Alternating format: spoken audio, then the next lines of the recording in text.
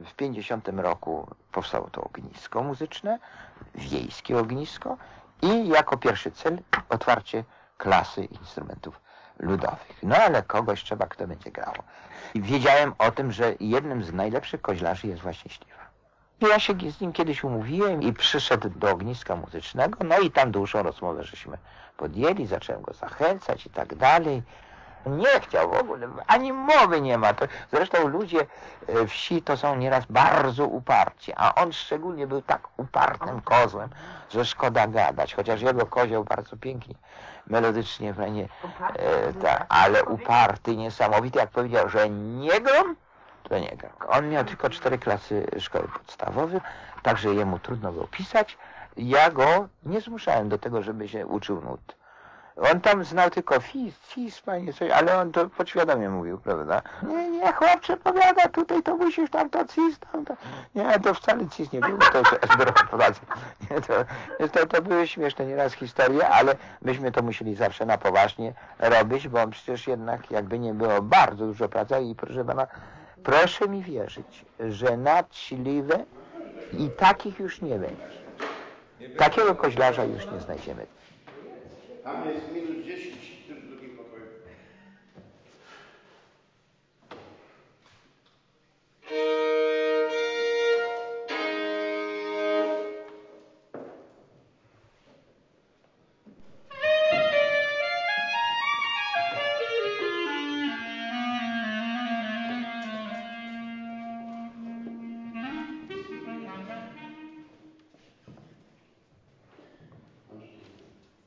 Nazywam się Edmund Hildebrand, jestem koźlarzem. Gram w kapeli z kolegą Przątką, Beniem Frąckiem, no i ja. Tworzymy kapelę koźlarską. Nazywam się Bernard Frącek, jestem y, członkiem zespołu ludowego, to znaczy kapeli koźlarskiej SML-u w tej chwili. Nazy- Nazywam się Jan Przątka, skrzypek, koźlarz. Y, Jestem nauczycielem w klasie instrumentów ludowych w Zbąszyniu, Państwowej Szkole Muzycznej i oprócz tego pełnię funkcję prezesa Stowarzyszenia Muzyków Ludowych z Zbąszynia.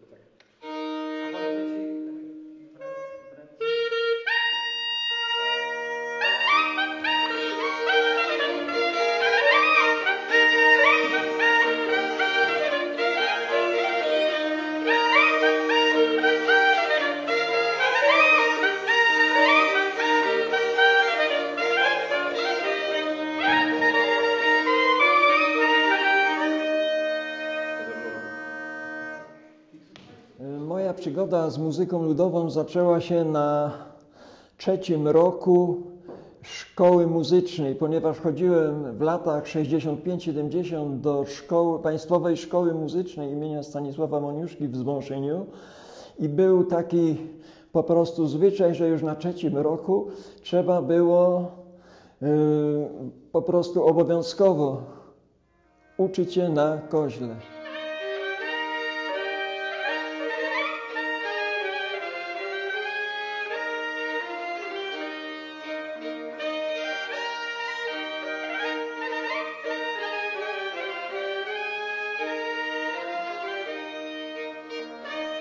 W latach 60. rozpocząłem naukę e, gry na klarnecie w szkole muzycznej. Kończąc ją, w trakcie brałem udział w różnych powiedzmy konkursach zorganizowanych przez y, oczywiście jeśli chodzi o ludowiznę. Y, Również byłem jako uczestnik pierwszej biesiady koźlarskiej. Mm, Poza tym, chyba jak byłem w wojsku, to opuściłem powiedzmy te biesiady. Także jak to Nądnie się rozpoczęło, to też brałem udział jako, jako uczestnik pierwszej biesiady.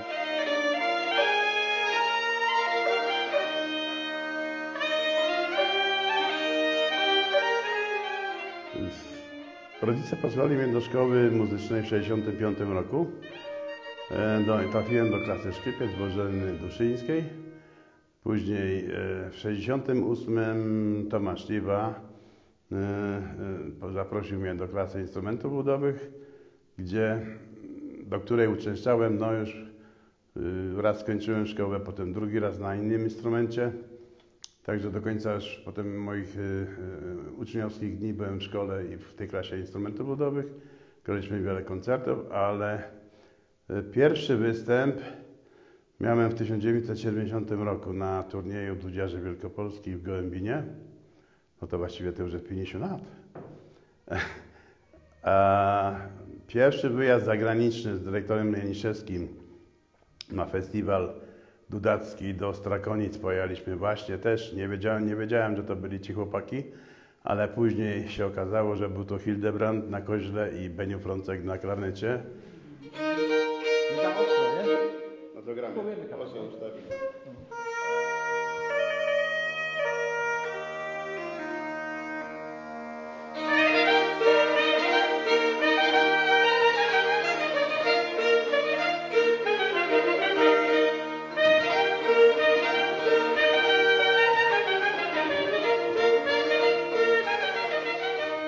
Byłem na pierwszej biesiadzie w 1973 roku to był duży zaszczyt, bo no my młodzież między tymi najstarszymi muzykami, między Domagałą, Muńką, y, Kleszką, mm, tam cała Dąbrówka i Kotkowiak, i Kotkowiak y, tutaj Winiarz, to tam jeszcze, no i potem y, uczniowie Śliwy, y, Mańczak, Frącek, Lo- Lordziu Śliwa. No to my tam zajmowaliśmy takie miejsca gdzieś tam po środku, a głównie patrzyliśmy, obserwowaliśmy tych starszych mu muzyków gra, e, grających na instrumentach ludowych. No bo to mieli wysoki kurs.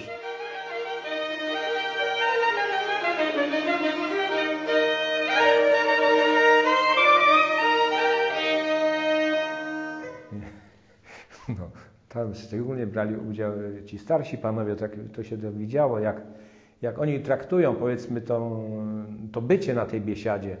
Zupełnie to jest coś innego, bo przypominam sobie, no to taki, takie, taka groteska, że były kolonki, były powiedzmy, no, nawet kieliszeczki stawiane, nie patrzyli na to, czy młodzież, czy nie młodzież, każdy tam powiedzmy miał to do spożycia, ale pan Janiszewski, jak tam był, to proszę tam nie tego.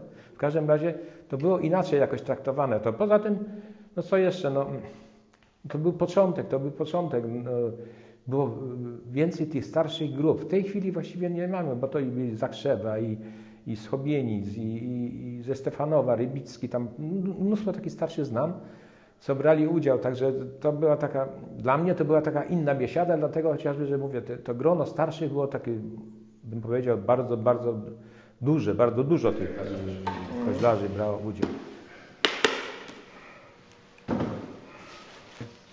Ja już nie będę się rozwodził nad tym, y, co, jak to się rozpoczęło, jeżeli chodzi o biesiadę, bo dzięki oczywiście dyrektorowi Janiszewskiemu, który robił wszystko, żeby tą klasę instrumentów, i, która była po prostu jak gdyby takim e, fundamentem ogniska miejskiego, wiejskiego, miejskiego, państwowego, a później szkoły muzycznej, którą prowadził do ładnych parę lat, żeby po prostu powstało coś, co jest y, dla Zbąszyja y, naprawdę tak, takim, takim powiem, bym powiedział, no, coś, co nie spotyka się w innych miasteczkach, takiego typu jak, jak właśnie Zwążyn.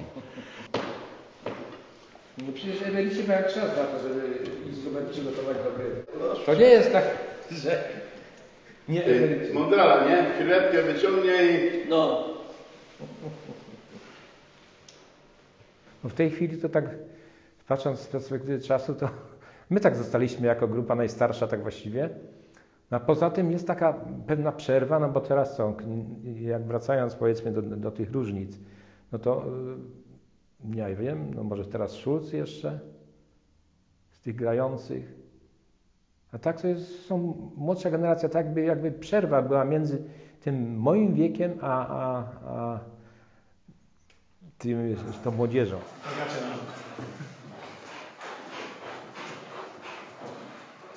Czyli to w tym przypadku będzie dwa razy, bo jest grane raz, no to... Błażej Szulc, y, gram w kapeli Wesela Przyprostyńskiego na klarnecie S.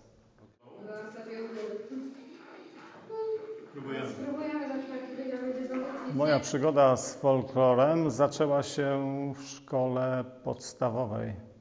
Muzycz... y, Zacząłem uczęszczać do szkoły muzycznej. No i tam oczywiście były obowiązkowe lekcje instrumentów ludowych. Z uwagi na to, że y, podstawowym instrumentem moim w szkole muzycznej był klarnet, więc y, zacząłem też w kapeli ludowej grać na, na klarnecie. Oprócz tego na, na koźle też grałem, ale wtedy solo. Na i! raz, nie. Na i! Na i! Na raz normalnie. Jakby było trzy, trzy, cztery. Pan nie boi. Lepiej, żebyś Agatę liczyła, bo ja jednak mam usta zajęte też.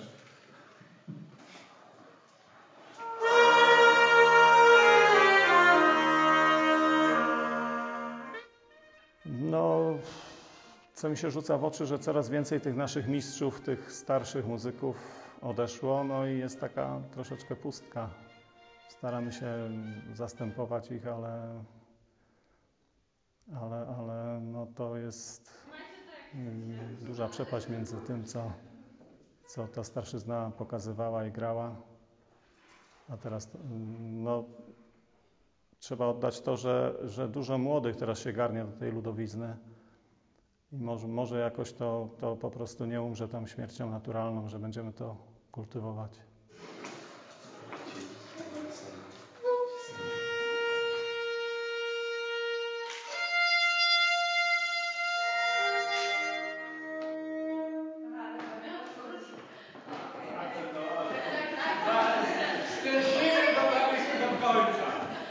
Nazywam się Olga Lauba i gram w kapeli Wesela Przeprostyńskiego oraz formacja Kozioł.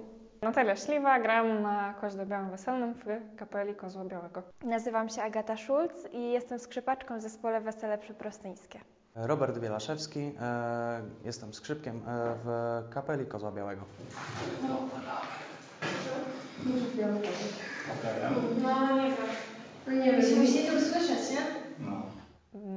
Zaczęło się od tego, że w drugiej klasie szkoły podstawowej w szkole podstawowej w Perzynach poszłam do zespołu e, Koziołki Przyprostyńskie nauczyć się tańczyć.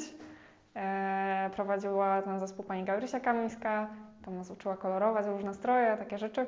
No i potem zapisałam się do szkoły muzycznej, dostałam się na waltornię. E, No i jakoś w drugiej klasie w szkole muzycznej przyszedł pan Jasiu, zapukał do drzwi i powiedział Cześć Natalia, słyszałem, że tam jesteś w koziołkach i chyba chcesz przyjść do mnie do klasy. No i poszłam do niego do klasy, zaczęłam się uczyć na sierszenkach i potem już stopniowo przechodziłam na kozła.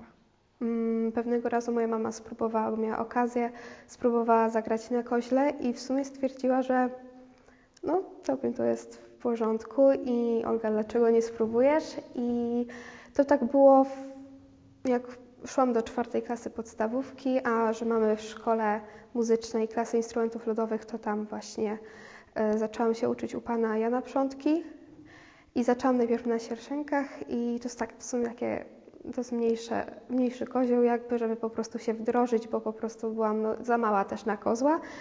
I mi się, no na początku oczywiście było ciężko, no nie szło mi trochę, ale, ale no zaczęło mi się podobać też po jakimś czasie to i też w pierwszej gimnazjum się już y, przestawiłam na kozła i, i tak to wyszło. Myślę, że e, takim największym powodem, dla którego zaczęłam grać na ludowo, był mój tata, który też od dzieciństwa gra na klarnecie w tym samym zespole, w Weselu Przyprostyńskim. I przez to, że widziałam, jak on ćwiczył, jak grał na tych różnych e, uroczystościach, na biesiadach, e, to po prostu zachęciło mnie to. E, jakoś zaszczepiło to we mnie taką mm, ciekawość i zaczęłam z tatą chodzić na próby, doglądać tak od podszewki, jak to wygląda. No i spodobało mi się i zaczęłam sama grać już w szkole podstawowej. Pewnie tak było, no bo tata grał, więc tą córkę zabierał też na pewne występy czy próby i no i tak to się zaczęło dla niej. Spodobało jej się i, i też sobie pogrywa gramy razem, fajnie.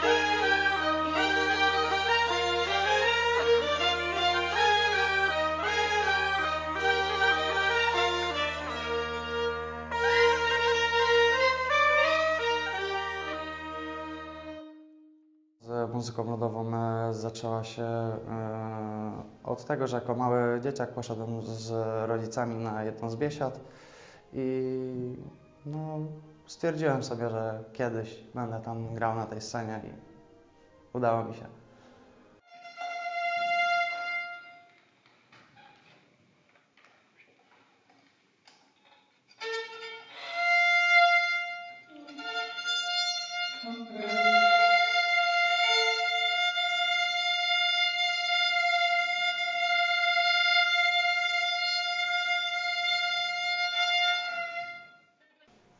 Biesiada koźlarska to jest w ogóle taki wyjątkowy moment, kiedy wszyscy koźlarze, muzykanci tutaj z całego regionu się zjeżdżają i możemy się spotkać nawet czasami z niektórymi raz w roku i po prostu pogadać, poroz- po, pograć razem, pobawić się. Yy, dowiadujemy się, co się tam u nas działo i, i to, jest, to jest właśnie fajne, bo to, ta biesiada ma taki bardzo rodzinny klimat. Uwielbiam grać właśnie na biesiadach szczególnie, bo po prostu przychodzą przeważnie osoby, którym się podoba taka muzyka i lubię grać i gdy widzę, że ludzie się dobrze do tego bawią. To sprawia o wiele więcej radości wtedy. A, a sam występ no jest stresujący, bo wiadomo, przychodzi rodzina, bo wszyscy tutaj ze Zbąszynia, tak trzeba się ładnie zaprezentować. Yy, No ale też yy, idzie się dużo nauczyć na biesiadzie, bo gramy z reguły w składzie w kapeli, a jeżeli przychodzi biesiada yy, i granie na przykład do potańcówki, to wszyscy razem się spotykamy i gramy większym składem i wtedy bardzo, bardzo łatwo jest się nauczyć czegoś od innych koźlarzy. Dużo rzeczy idzie podpatrzeć, dużo nowych melodii też może, możemy zapamiętać się nauczyć.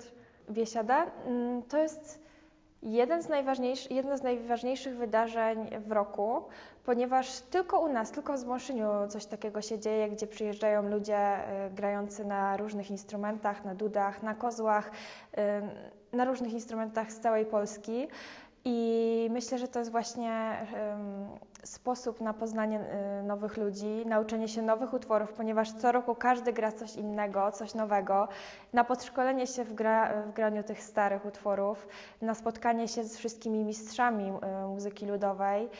Y, muszę tutaj wspomnieć oczywiście o panu Leonardzie Śliwie, który był moim pierwszym nauczycielem i to dzięki niemu pierwszy raz zagrałam na Biesiadzie, później zdobyłam Grand Prix, wszystkie nagrody, także no to jest jedyny w swoim rodzaju taki konkurs i takie wydarzenie. Dla mnie Biesiada aktualnie jest e, miejscem i możliwością, żeby się spotkać z tymi wszystkimi ludźmi, e, którzy się kręcą dookoła właśnie muzyki ludowej. Bo no, to są bardzo fajni ludzie jednak i taka Biesiada łączy ludzi bardzo.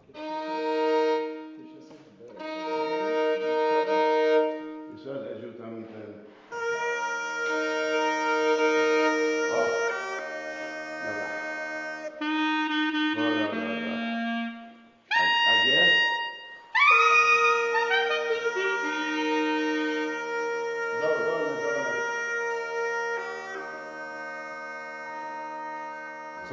stać się w Twoim życiu, żebyś zrezygnowała z folkloru?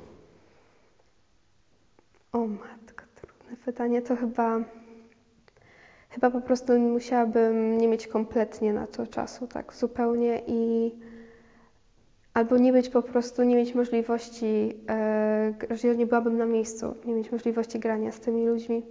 Bo tak to nie, no, nie wyobrażam sobie, żebym zrezygnowała obecnie z tego. Nie sądzę, nie, nie, nie widzę takiej możliwości. No chyba, że ktoś by mi tam powiedział, stary, nie nadajesz się, tam źle grasz czy coś tam, no to, no, to w ten czas siłą rzeczy powiedzmy ktoś tam sobie odmawia takiego czegoś, ale tak nie. nie. Póki jeszcze mogę, no to będę grał, no i tyle. No nie umiem na to pytanie odpowiedzieć chyba.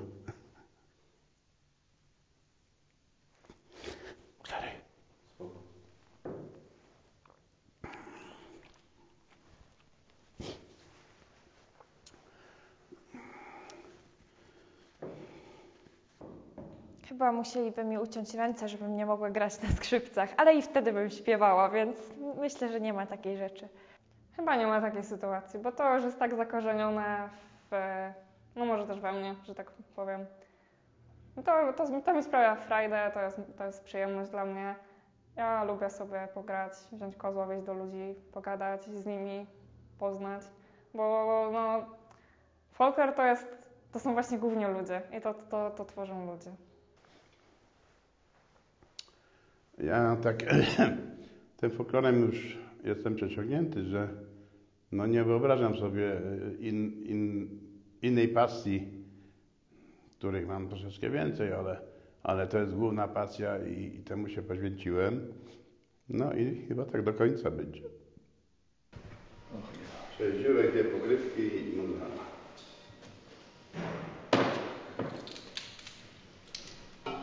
No nie do końca jak to jest, ale powiedzmy, że... To tak, nie do końca.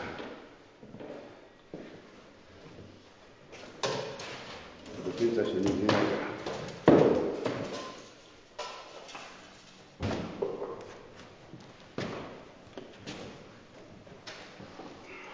To jesteśmy przygotowani?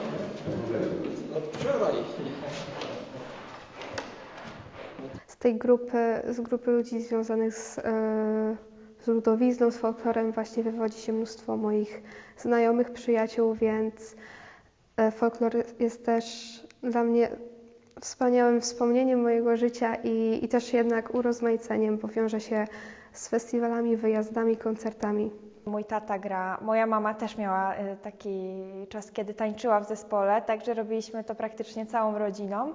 E, Folklor wpływa na moje życie w ten sposób, że e, no, nie powiem, że negatywnie, e, w ten sposób, że zabiera czas, bo to prawda, muszę poćwiczyć, muszę e, jeździć na te różne koncerty, e, grać na mszach świętych, też na ludowo, na, na różnych tych konkursach, ale w pewien sposób bardzo, bardzo pozytywnie, ponieważ mam bardzo dużo nowych znajomych dzięki temu.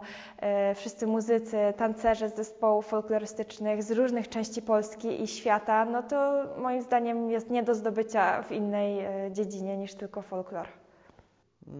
Nie ma takiej siły, która by mnie od muzyki ludowej odciągnęła. Jestem już tak wtajemniczony w to, że po prostu sprawia mi to wielką przyjemność. Spodobało mi się to i tak to trwa do dzisiaj. Lubię grać, lubię grać, ja naprawdę lubię grać, no bo szkoda, że tak trzeba to wspomnieć, no ale koledzy odeszli, to przechodzę do innego zespołu, tam powiedzmy Benio Kasper też odszedł, no znowu, jest Hildebrand, także no lubię grać i dlatego się tym zajmuję na tyle, że to jest dużą przyjemnością.